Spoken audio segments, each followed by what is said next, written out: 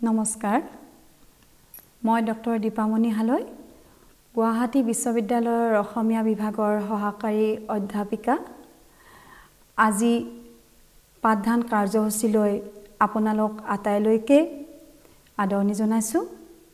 আজি এই পাঠদান কাৰ্যসূচীত মই কথিত ভাষা বনাম লিখিত ভাষাৰ বিষয়ে কিছু কথা ক'ম। কথিত ভাষা কি? লিখিত ভাষা কি? সেয়া জনাৰ আগতে আমি ভাষানো কি? সেই সম্পৰ্কে কিছু কথা জানি লোৱা ভাল। ভাষা হৈছে মানুহৰ ভাৱ প্ৰকাশৰ গুৰুত্বপূৰ্ণ মাধ্যম। মানুহে মনৰ ভাৱ প্ৰকাশ কৰিবলৈ বিভিন্ন ধৰণৰ মাধ্যম ব্যৱহাৰ কৰে। শাৰীৰিক অংগী ভংগীৰ জৰিয়তে মানুহে মনৰ ভাৱ প্ৰকাশ কৰিব পাৰে। বিভিন্ন প্ৰতীকৰ জৰিয়তে পাৰে শব্দৰ জৰিয়তে পাৰে। বিভিন্ন প্ৰকাৰে মানুহে মনৰ ভাৱ প্ৰকাশ কৰিব পাৰে। কিন্তু এই সকলো মাধ্যমৰ ভিতৰত ভাষা হৈছে আটাইতকৈ গুৰুত্বপূৰ্ণ। কাৰণ ভাষাৰ জৰিয়তে মানুহে যিমান বহল পৰিৱেশৰত ভাৱ ব্যক্ত কৰিব পাৰে সেয়া আন মাধ্যমৰ জৰিয়তে নোৱাৰে। সেইকাৰণে ভাষাক আটাইতকৈ গুৰুত্বপূৰ্ণ যোগাযোগৰ মাধ্যম বুলি কোৱা হয়। এইখিনিতে আমি আৰু এটা কথা মনত ৰখা ভাল। মানুহেই হৈছে ভাষা ক'ব পৰা একমাত্ৰ প্ৰাণী। আন জীৱ জন্তুৰ তুলনাত মানুহৰ শ্ৰেষ্ঠত্ব ভাষা আহৰণৰ ক্ষমতাৰ ক্ষেত্ৰতেই আমি দেখা পাওঁ। আন জীৱ জন্তুৱেও ভাষা ক'ব পাৰে মাত মাতিব পাৰে। কিন্তু মানুহে যিধৰণে নতুন পৰিস্থিতিত প্ৰয়োজন অনুসৰি নিজৰ ভাৱ ব্যক্ত কৰি গৈ থাকিব পাৰে আন জীৱ জন্তুৰ সেই ক্ষমতা নাই।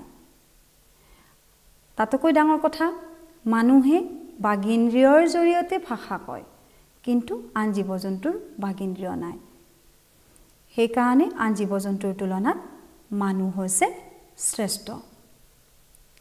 এতিয়া ভাষা কি সেই সম্পৰ্কে যদি আমি চাওঁ তেনেহ'লে আমি অতি সহজকৈ ক'ব পাৰোঁ কোনো জনসমষ্টিয়ে নিজৰ মনৰ ভাৱ প্ৰকাশ কৰিবলৈ ব্যৱহাৰ কৰা যাদৃশিক ধ্বনি প্ৰতীকৰ সমষ্টিয়েই হৈছে ভাষা।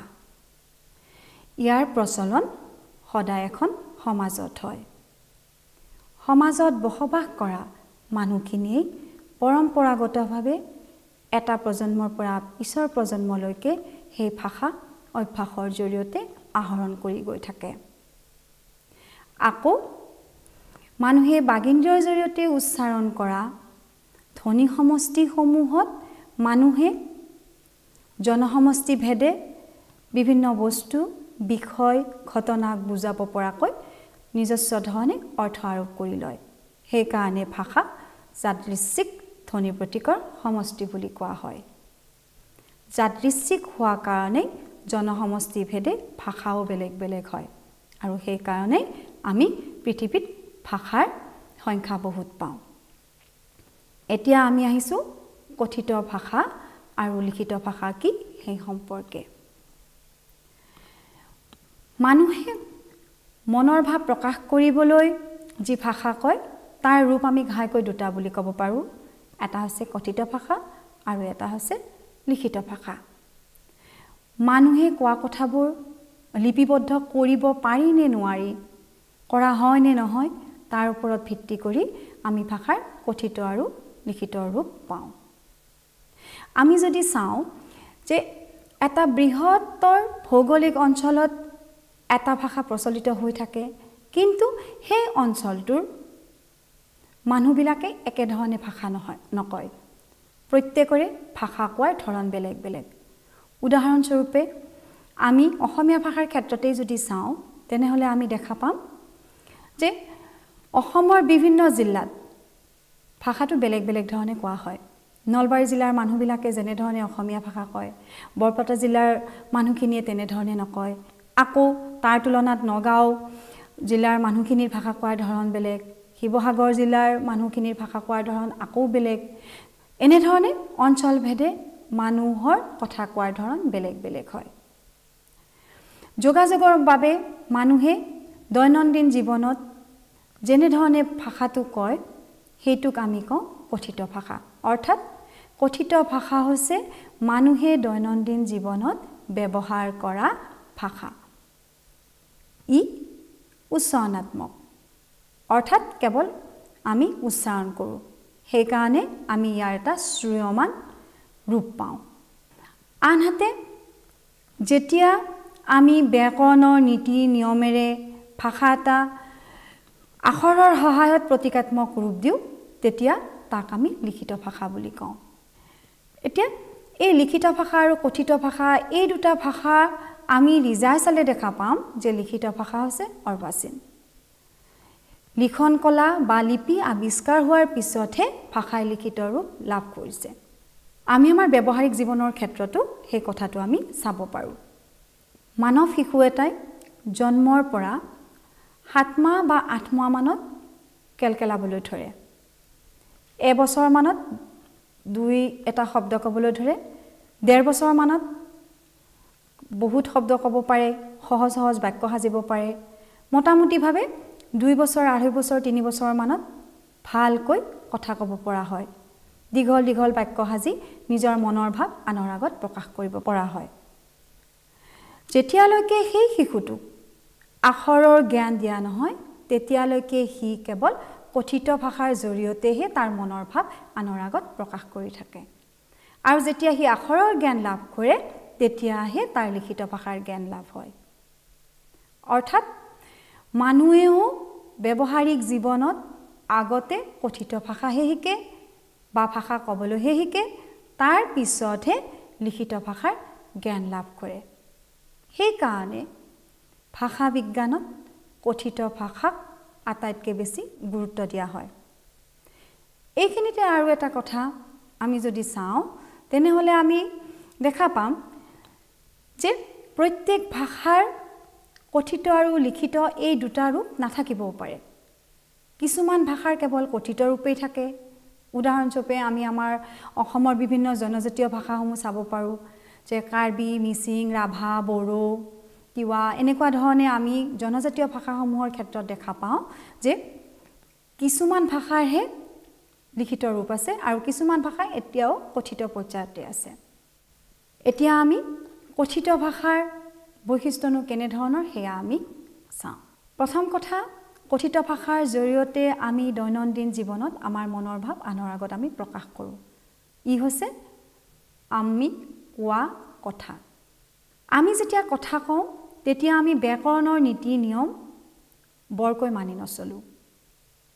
কেতিয়াবা আমাৰ শব্দ প্ৰয়োগ যথাযথ নহয় কেতিয়াবা বাক্য কওঁতে আমাৰ শব্দ ওলট পালট হয় যে কৰ্তাটো কেতিয়াবা মাজতো বহে কেতিয়াবা কৰ্তা নাথাকেই সেইকাৰণেই আমি যদি চাওঁ তেনেহ'লে কথিত ভাষা আমি শৃংখলিত নহয় বুলি আমি ক'ব পাৰোঁ বা সুসংহত নহয়। আকৌ অলপ আগতে আমি কৈয়ে আহিলোঁ যে অঞ্চলভেদে মানুহৰ কথা কোৱাৰ ধৰণ বেলেগ বেলেগ হয় সুৰ বেলেগ বেলেগ হয়।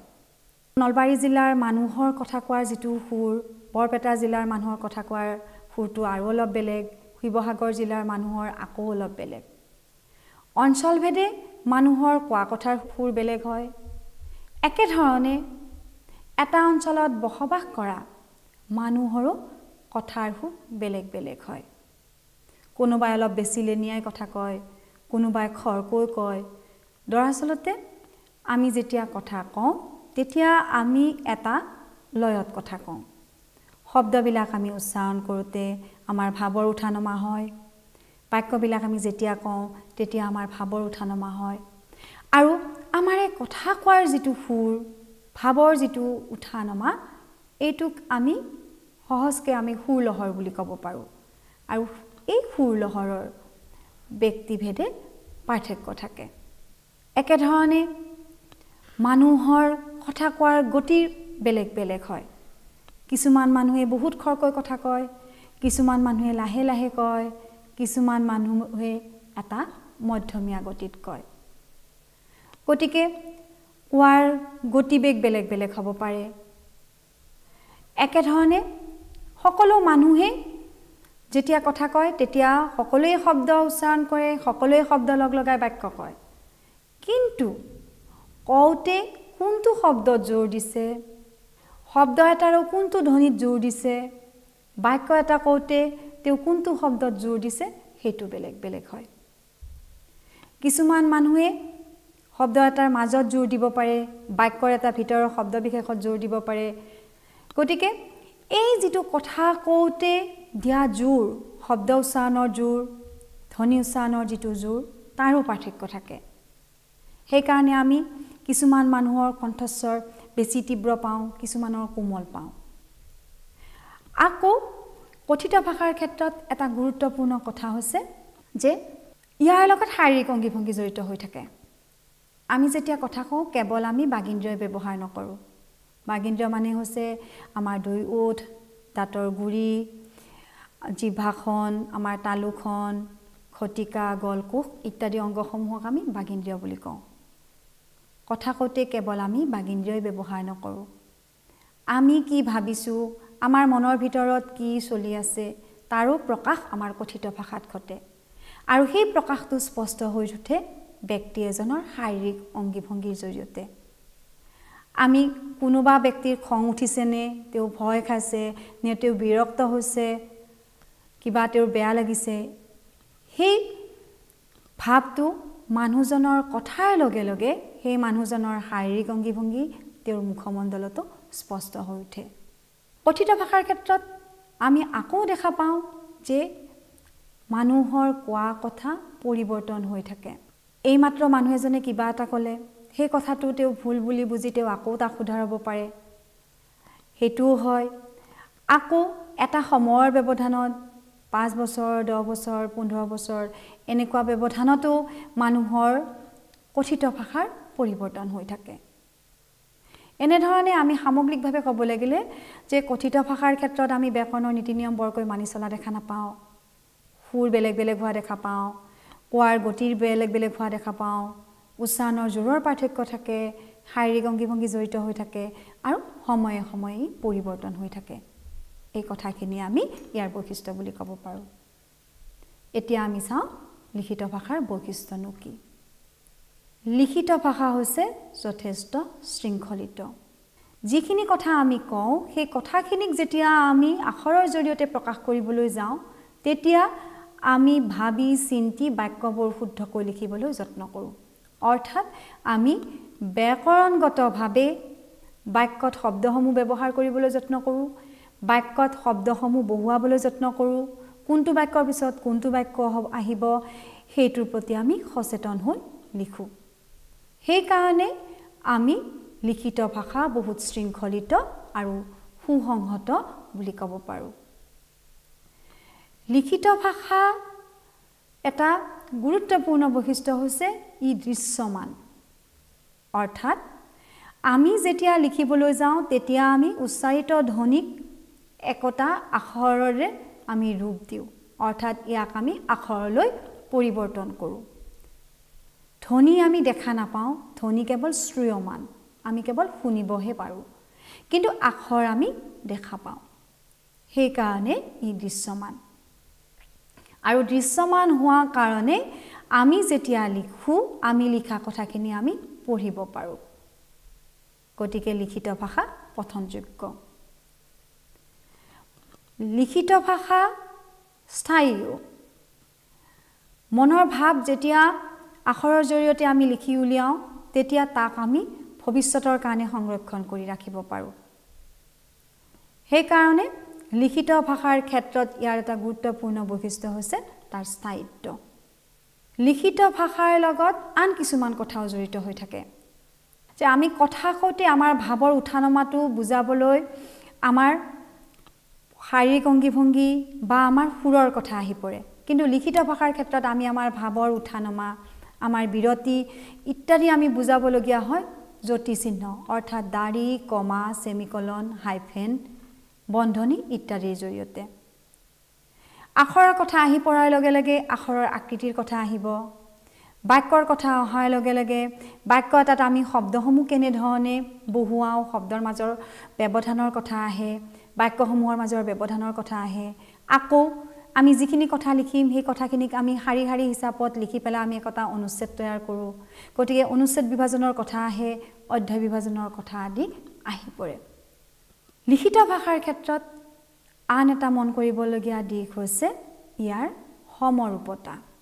এটা জনসমষ্টিৰ মানুহে কোৱা কথাৰ পাৰ্থক্য থাকিলেও লিখিত ভাষাৰ ক্ষেত্ৰত কিন্তু পাৰ্থক্য নাথাকে। কথিত ভাষাৰ সুৰৰ পাৰ্থক্য থাকে গতিৰ পাৰ্থক্য থাকে জোৰৰ পাৰ্থক্য থাকে। কিন্তু সেই জনসমষ্টিৰ মানুহে যেতিয়া একেধৰণে লিখে তেতিয়া সেই তেওঁলোকৰ লিখিত ভাষাৰ ক্ষেত্ৰত আমি পাৰ্থক্য দেখা নাপাওঁ। উদাহৰণস্বৰূপে আমি এটা বিষয় বাছি দি যদি আমি পোন্ধৰজন বিছজনৰ মানুহৰ গোট এটা গঠন কৰি লওঁ আৰু তেওঁলোকক এটা বিষয় যদি লিখিব দিওঁ তেনেহ'লে তেওঁলোকে লিখাৰ ধৰণটো একেধৰণৰ হ'ব। শাৰীৰ ব্যৱধান বাক্যৰ ব্যৱধান শব্দৰ প্ৰয়োগ বাক্যৰ গঠন মোটামুটিভাৱে একেই থাকিব। সেইকাৰণে লিখিত ভাষাৰ এটা গুৰুত্বপূৰ্ণ বৈশিষ্ট্য বুলি আমি সমৰূপতাক ক'ব পাৰোঁ। এতিয়া আমি কথিত ভাষা আৰু লিখিত ভাষা সম্পৰ্কে যিখিনি কথা কৈ আহিলোঁ তাৰ ভিত্তিত যদি আমি সাদৃশ্য কি আছে ইহঁতৰ সেই সম্পৰ্কে চাওঁ তেনেহ'লে আমি ক'ব পাৰোঁ কথিত ভাষা আৰু লিখিত ভাষাৰ গাঁথনিক উপাদান একে। ধ্বনি ৰূপ বাক্য আৰু অৰ্থ এই চাৰিটা উপাদানেৰে কথিত ভাষা আৰু লিখিত ভাষা গঠিত। ভাষা আমি কওঁৱেই বা লিখোৱেই। উভয়ৰে লগত প্ৰসংগ পৰিস্থিতি এই দুটা বিষয় জড়িত হৈ থাকে। আমি প্ৰসংগক্ৰমে কথা কওঁ পৰিস্থিতিত আমি কথা কওঁ একেধৰণে আমি প্ৰসংগক্ৰমেই আমি লিখোঁ পৰিস্থিতি এটাৰ ভিত্তিত আমি লিখোঁ। গতিকে কথিত ভাষা আৰু লিখিত ভাষা উভয়ৰে ব্যৱহাৰৰ ক্ষেত্ৰত প্ৰসংগ আৰু পৰিস্থিতি সদায় থাকে। এতিয়া পাৰ্থক্যৰ বিষয়ে আমি চাওঁ। কথিত ভাষা লিখিত ভাষাৰ প্ৰধান পাৰ্থক্যটোৱেই হৈছে কথিত ভাষা শ্ৰেয়মান কাৰণ ই উচ্চাৰণাত্মক। আনহাতে লিখিত ভাষা দৃশ্যমান কাৰণ ইয়াক আমি আখৰ বা লিপিৰ সহায়ত লিখোঁ। কথিত ভাষা শ্ৰেয়মান হোৱা হেতুকে কথিত ভাষা অস্থায়ী। মানুহে কথা কয় আৰু কোৱা শেষ হোৱাৰ লগে লগেই সি অতীত হৈ পৰে। তাক আমি ধৰি ৰাখিব নোৱাৰোঁ। ব্যক্তিয়ে মনত ৰাখিব পাৰে যদিও সেই স্মৃতিও বহুত বেছি আমি স্থায়ী বুলি ক'ব নোৱাৰোঁ। কিন্তু একেখিনি কথা যদি আমি লিখি উলিয়াওঁ তেনেহ'লে বা লিপিবদ্ধ কৰোঁ তেনেহ'লে তাক আমি ভৱিষ্যতলৈকে সংৰক্ষণ কৰিব পাৰোঁ। সেইকাৰণে আমি ক'ব পাৰোঁ কথিত ভাষা অস্থায়ী লিখিত ভাষা স্থায়ী। আৰু এটা গুৰুত্বপূৰ্ণ পাৰ্থক্য হৈছে যে কথিত ভাষাৰ তুলনাত লিখিত ভাষা বহুত বেছি শৃংখলিত আৰু প্ৰণালীবদ্ধ। কথা কওঁতে আমি ব্যাকৰণৰ নীতি নিয়ম সিমান মানি নচলোঁ। অৰ্থাৎ আমি বাক্যটো শুদ্ধকৈ কৈছোঁ নে নাই শব্দই আমি ভুলকৈ উচ্চাৰণ কৰিলোঁ নেকি সেইটো আমি সিমানখিনি ভাবি চিন্তি নকওঁ। কিন্তু যেতিয়া আমি লিখোঁ তেতিয়া আমি ভাৱ অনুসৰি শব্দ যিমান পাৰি সিমান আমি যথাযোগ্যভাৱে ব্যৱহাৰ কৰিবলৈ চাওঁ বাক্য আমি শুদ্ধ ৰূপত লিখিবলৈ চাওঁ। সেইকাৰণে কথিত ভাষাৰ তুলনাত আমি লিখিত ভাষা বেছি শৃংখলিত আৰু প্ৰণালীবদ্ধ বুলি ক'ব পাৰোঁ। আকৌ এটা কথা হৈছে যে লিখিত ভাষা সময় আৰু স্থান ইয়াৰ দ্বাৰা আমি আবদ্ধ কৰি ৰাখিব নোৱাৰোঁ।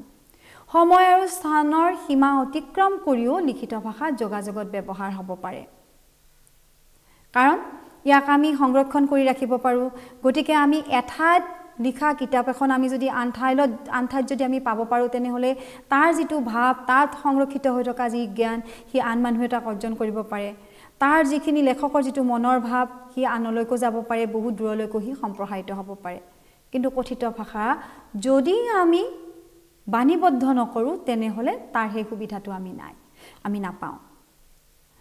আকৌ এটা কথা হৈছে যে কথিত ভাষাত সময় সুৰ জোৰ গতি আদি যিবিলাক ধাৰণা জড়িত হৈ থাকে লিখিত ভাষাৰ লগত কিন্তু সেইবিলাক ধাৰণা জড়িত হৈ নাথাকে।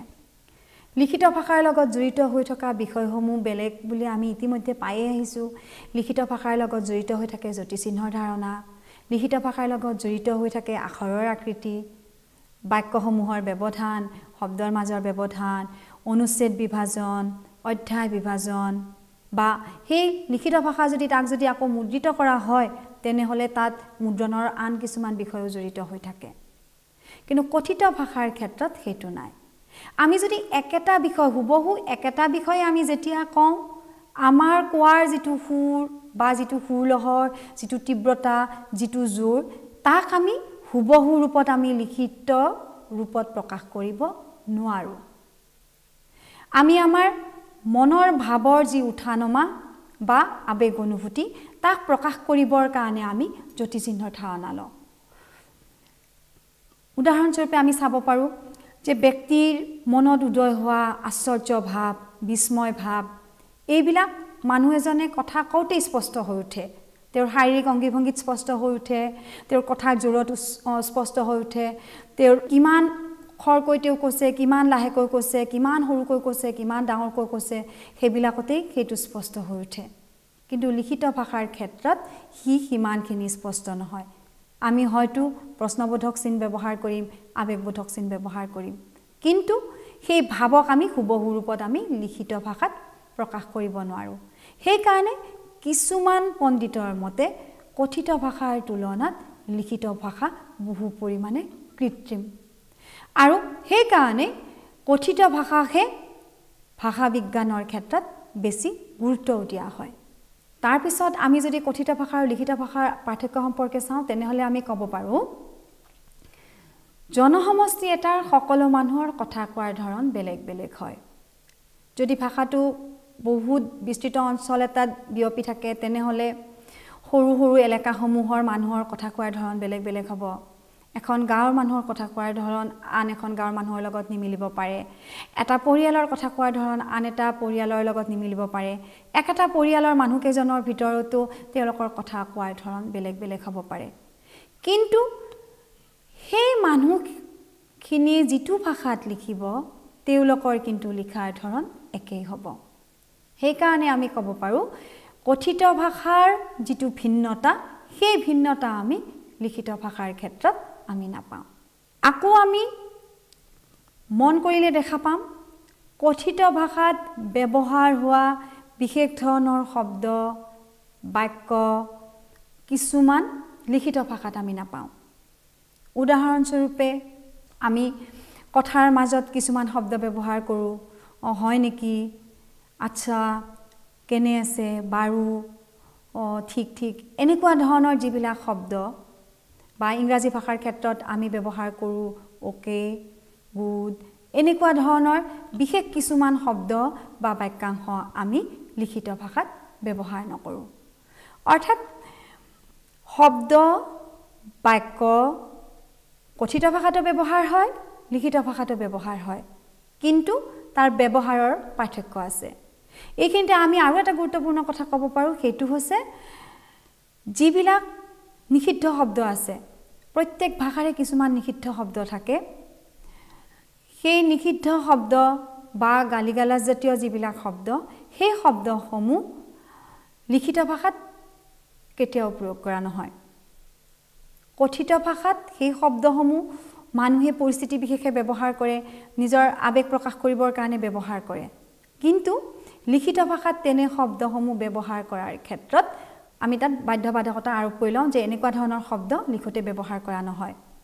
আমি যদি সৃষ্টিশীল সাহিত্যসমূহে যদি চাওঁ গল্প উপন্যাস নাটক এনেকুৱা ধৰণৰ যদি আমি চাওঁ আনকি আমি চিনেমাৰ ক্ষেত্ৰতো আমি চাব পাৰোঁ যে গালি গালাজ বাচক যিবিলাক শব্দ আছে সেই শব্দসমূহ বুজাবৰ কাৰণে হয় দত দত কিছুমান দি থৈ দিছে। বা তেনেকুৱা ধৰণৰ তাৰ কাষত উপন্যাসিকজনে গল্পকাৰজনে ব্যাখ্যা কৰি থয় যে এই বুলি সি এটা অশ্লীল শব্দ প্ৰয়োগ কৰিলে। কিন্তু শব্দটো কি? সেইটো কিন্তু স্পষ্টকৈ কৈ দিয়া নহয়। গতিকে শব্দ প্ৰয়োগৰ ক্ষেত্ৰত বাক্যাংশ প্ৰয়োগৰ ক্ষেত্ৰত কথিত ভাষা আৰু লিখিত ভাষাৰ মাজত আমি পাৰ্থক্য দেখা পাওঁ।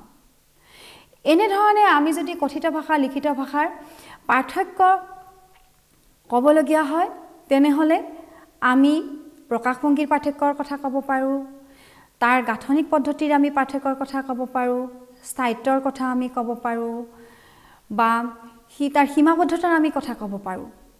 সীমাবদ্ধতা মানে অৰ্থাৎ কথিত ভাষা এটা বিশেষ পৰিস্থিতিত বিশেষ স্থান বিশেষ সময়ৰ কাৰণেহে। কাৰণ কৈ দিয়াৰ লগে লগে সি অতীত হৈ পৰে। কিন্তু লিখিত ভাষাৰ ক্ষেত্ৰত কিন্তু সেইটো নাই। কাৰণ লিখিত ভাষা হৈছে স্থায়ী ইয়াক আমি সংৰক্ষণ কৰি ৰাখিব পাৰোঁ। আমি কিতাপ আকাৰে তাক সংৰক্ষণ কৰিব পাৰোঁ আমি তাক চিঠি আকাৰে সংৰক্ষণ কৰিব পাৰোঁ পত্ৰ আকাৰে আমি তাক সংৰক্ষণ কৰিব পাৰোঁ। অৰ্থাৎ মুদ্ৰণ প্ৰক্ৰিয়াৰ জৰিয়তে আমি তাক স্থায়িত্বটো প্ৰদান কৰিব পাৰোঁ। আৰু চাব গ'লে মানুহৰ সভ্যতা ইমানখিনি পৰ্যায়লৈকে অহাৰ মূলতে হৈছে লিখিত ভাষা বা লিপিৰ আৱিষ্কাৰ। সেইকাৰণে কোৱা হয় মানৱ সভ্যতাৰ সকলো আৱিষ্কাৰৰ ভিতৰত আটাইতকৈ গুৰুত্বপূৰ্ণ আৱিষ্কাৰ হৈছে লিপিৰ আৱিষ্কাৰ। লিপি মানেই হৈছে আখৰ মালা যদি কথিত ভাষাই লিখিত ভাষাৰ মৰ্যাদা নাপালেহেঁতেন যদি আখৰ আৱিষ্কাৰ নহ'লহেঁতেন তেনেহ'লে মানুহে প্ৰজন্মৰ পিছত প্ৰজন্ম ধৰি অৰ্জন কৰা জ্ঞান অভিজ্ঞতা ভৱিষ্যতলৈ সংৰক্ষণ কৰি ৰাখিব পৰা নগ'লহেঁতেন। আৰু তেতিয়া মানৱ সভ্যতা একবিংশ শতিকাৰ এই পৰ্যায়ত উপনীত হ'লহেঁতেন নে নাই তাত সন্দেহৰ অৱকাশ আছে। সেইকাৰণে আমি ক'ব পাৰোঁ যে মানৱ সভ্যতাৰ অগ্ৰগতিৰ মূলতেই হৈছে ভাষাৰ লিখিত ৰূপ। কথিত ৰূপৰ জৰিয়তে আমি মনৰ ভাৱ প্ৰকাশ কৰোঁ আৰু সেই মনৰ ভাৱক আমি যদি আনলৈকে যদি আমি পঠিয়াবলগীয়া হয় প্ৰেৰণ কৰিবলগীয়া হয় পৰৱৰ্তী কাললৈকে যদি আমি যদি তাক ৰাখিবলগীয়া হয় তেনেহ'লে তাৰ কাৰণে আমাক লিখিত ভাষা লাগিবই। অৰ্থাৎ লিখন কলা আমাক লাগিবই। কিন্তু পৃথিৱীত ব্যৱহাৰ হোৱা সকলো ভাষাৰে লিখিত ৰূপ নাইও। এই কথাটো আমি মনত ৰখা ভাল হ'ব। কিছুমান ভাষাৰ কথিত ৰূপ লিখিত ৰূপ দুয়োটা ৰূপে আছে। উদাহৰণস্বৰূপে অসমীয়া ভাষাৰ কথা ক'ব পাৰোঁ। আমি ইয়াৰ এটা কথিত ৰূপো দেখা পাওঁ। আমি ইয়াৰ এটা লিখিত ৰূপো পাওঁ।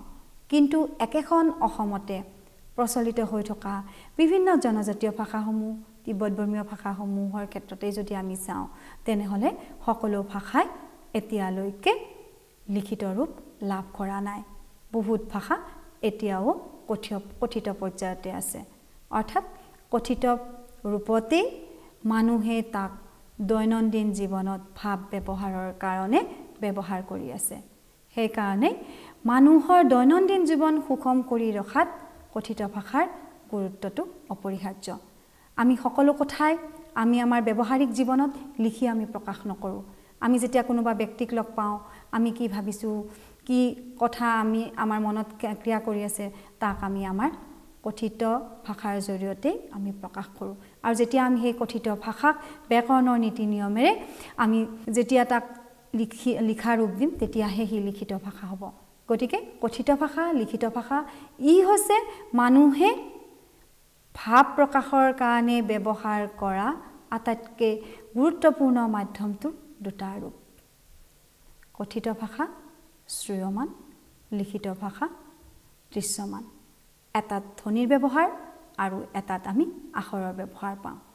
ধ্বনি হৈছে উচ্চাৰণাত্মক আকৌ আখৰ হৈছে সেই ধ্বনিৰ লিখিত ৰূপ বা প্ৰতীকী ৰূপ।